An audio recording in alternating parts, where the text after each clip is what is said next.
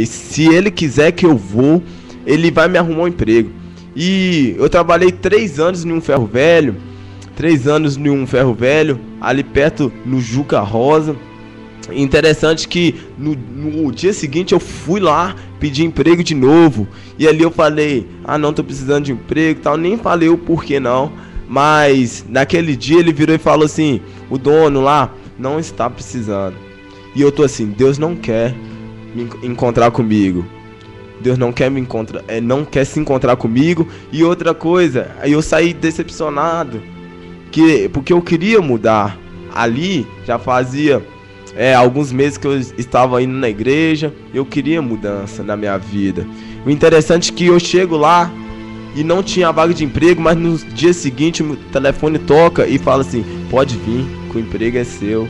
E aí eu comecei a trabalhar, de fato eu entendi que Deus queria se encontrar comigo e realmente Deus transformou minha vida ali naquele encontro com Deus. O mais interessante é que um dia antes é, chegam meus amigos que também no encontro com Deus, viram para mim, vamos numa despedida do mundo. Eu tô assim, despedida no mundo? É, a gente acabou de inventar, despedida do mundo. E quando eu saio na rua lá de casa, eu tomo é, mais ou menos uma pedrada na cabeça e doeu muito, meu Deus, deu um corte enorme. E ali eu fiquei com muita ira, com muita raiva, mas de fato os meninos não é o diabo, é o inimigo, vambora. Eu amarrei uma bandana, mas estava doendo muito, sangrando bastante. A gente foi no centro e a gente só tomou um refrigerante, tomou um lanche ali, voltou, só que eu já estava tonto.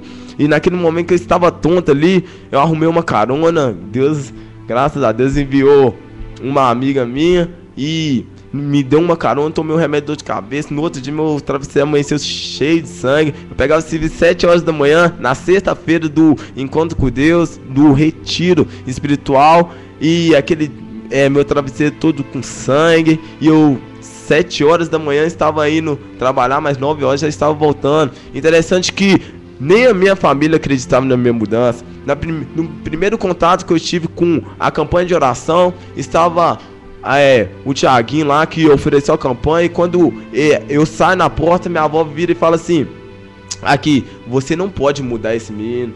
E ali houve uma frustração, porque nem minha avó e nem ninguém acreditava em mim que eu poderia mudar pelas coisas que eu fazia, mas ele foi usado por Deus e falou assim: "Eu não posso, mas Deus pode mudar a história dele". Interessante que alguém acreditou em mim e aquilo me fez querer mudar. E o encontro com Deus foi algo tão sobrenatural na minha vida que realmente mudou, trouxe libertação. Meus pactos demônios foram quebrados. Deus me mostrou o tanto que ele me amava, porque de fato eu não tinha o carinho de ninguém lá em casa, mas Deus me carregou no colo e falou: Eu te amo, filho. E ali, naquele momento que Deus me carrega no colo, eu abro meu coração, me encontro com Ele, me relaciono com Ele ali, e Deus realmente muda minha história. E saio o velho Ricardo e entra uma, um novo Ricardo. Interessante que 1 Coríntios é 1,27 fala que Deus escolhe as coisas loucas do mundo para confundir as sábias. E de fato, Deus, naquele encontro com Deus, estava usando uma coisa louca para fazer a diferença no futuro. E hoje eu estou aqui podendo contar a minha história para vocês. Amém, meu Deus, que, que bênção.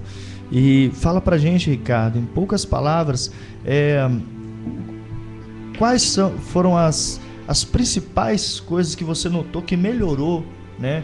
É, que é, mudou na sua vida depois desse encontro, é, principalmente o seu coração em relação à sua família, né? Que antes às vezes tinha tanto ódio, tinha tanta raiva, é, como é que é o Ricardo por dentro, depois dessa experiência com Deus, né, com a família, com a sociedade, com Deus, né, aqueles demônios que viviam ali te acompanhando, aquelas entidades espirituais ruins.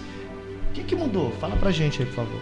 Meu Deus, interessante que minha vida com Deus agora se tornou uma verdadeira vida com Deus. Uma vida que eu não tinha, Deus me proporcionou a estar com ele, a estar do lado dele.